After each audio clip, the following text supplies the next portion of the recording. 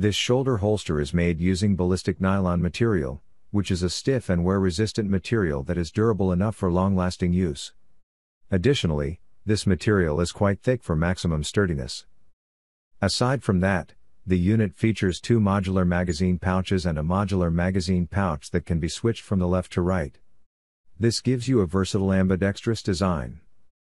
The shoulder straps are padded for comfortable use and are adjustable with elastic sections at the rear for tight fitting on any adult male.